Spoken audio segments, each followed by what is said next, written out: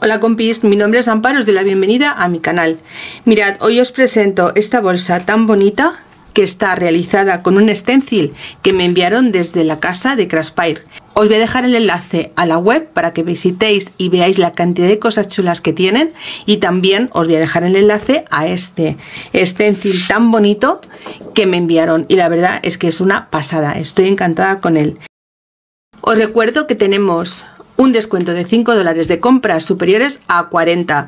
El código Creativa5 y ahora sin más, acompáñame que te voy a enseñar cómo hacer esta bolsa tan bonita. Vamos con el vídeo.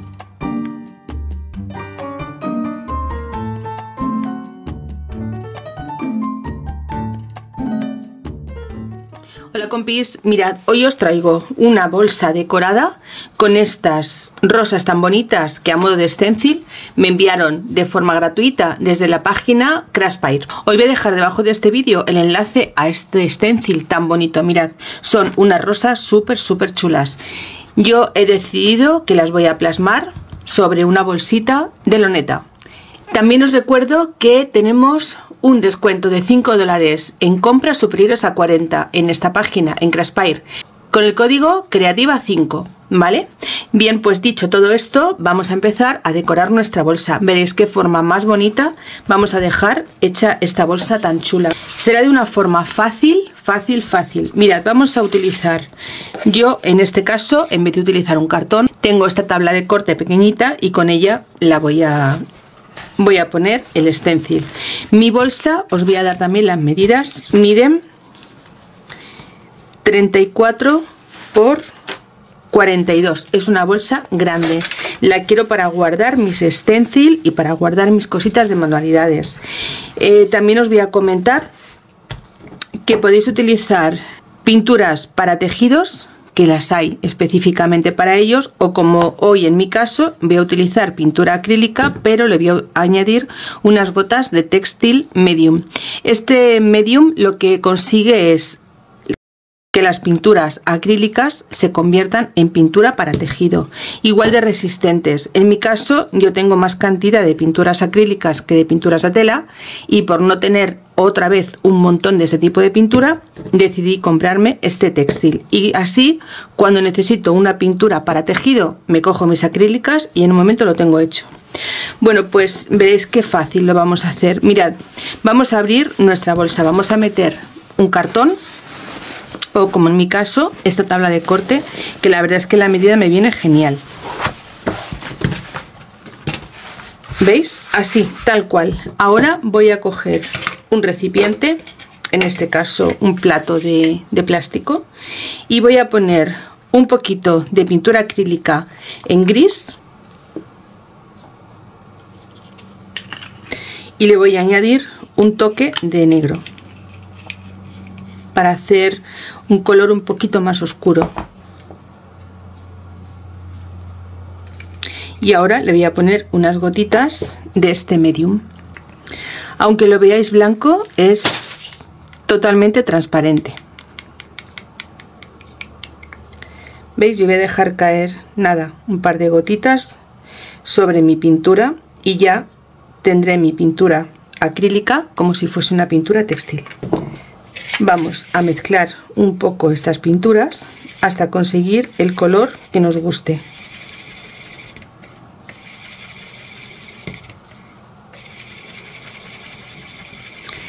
Yo quiero darle un tono envejecido pero tampoco quiero un color muy muy oscuro.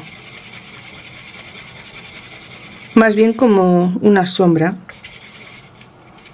Bien pues una vez conseguido el color que a mí me gusta vamos a poner a buscar la posición voy a apagar el foco de arriba.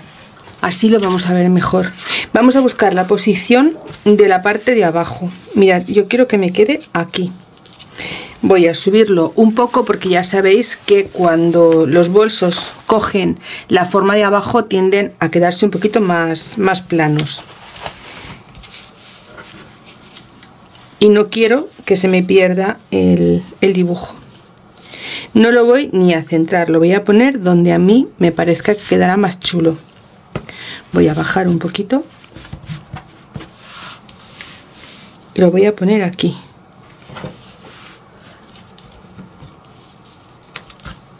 En esta posición. Ahora vamos a coger, voy a subirlo a ver si lo vemos.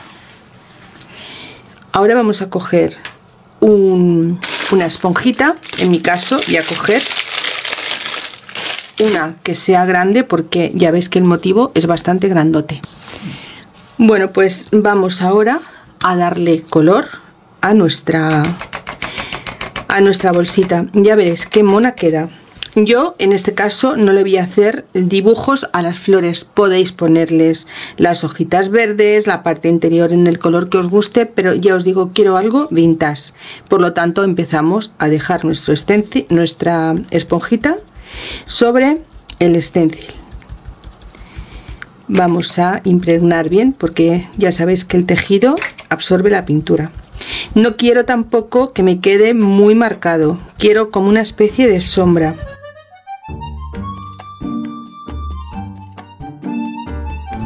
Voy a mirar la intensidad. Mirad veis esto es lo que yo quiero. Simplemente una sombra. Voy a hacer más pinturilla.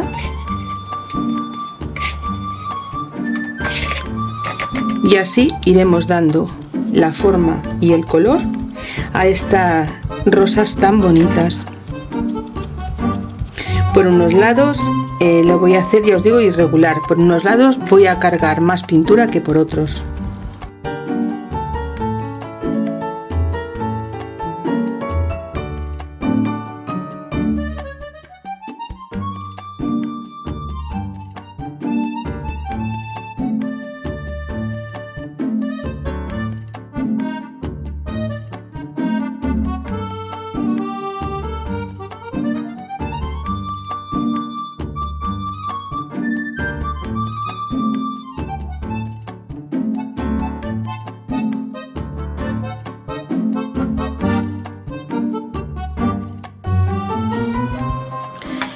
Pues mirad, así es como nos ha quedado. Fijaos qué cosa más bonita.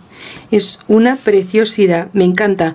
Voy a retirarlo un momento porque os voy a decir que nada más terminar de utilizar los stencil se deben limpiar. Mirad, yo lo hago con toallitas de bebé. Las que utilizamos para la higiene de nuestros bebés. Simplemente le doy un buen repasito, una buena limpieza, porque así me aseguro que cuando lo vaya a utilizar lo tenga limpio otra vez. Y ya que tenemos estas piezas tan chulas, también debemos protegerlas y cuidarlas. ¿Veis? Así. Ahora ya lo dejo secar y cuando lo necesite lo tendré limpio. ¿Veis? Perfecto, para la próxima vez que lo necesitemos. Bueno, pues mirad, ahora ya lo que nos queda es dar la vuelta a nuestra bolsita cuando esté bien seca y por la parte del revés planchamos con la plancha de calor en seco. Eso lo que hará será fijar la pintura al tejido y podremos lavarlo en lavadora en un programa la verdad un poco suave pero podremos mantenerlo siempre limpio y además poderla lavar sin ningún problema pues eh, compis, este ha sido el proyecto de hoy. Espero que os haya gustado, espero que lo hagáis y que visitéis la página de Craspire porque tiene cosas súper bonitas. Este stencil a mí me ha encantado, igual que el resto de los productos que me enviaron. Eh, agradezco a Craspire por estos productos tan bonitos y que gracias a ellos tengo una bolsa pues un poco especial hecha por mí y además dibujada y diseñada a mi antojo. Espero que os guste, compis.